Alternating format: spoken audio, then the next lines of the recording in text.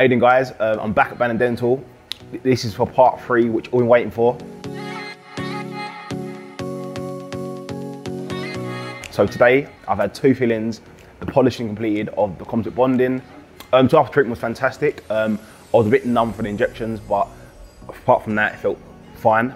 Um, I had to watch what I had to do with like eating, drinking, because the coffee was staining because the composite bonding.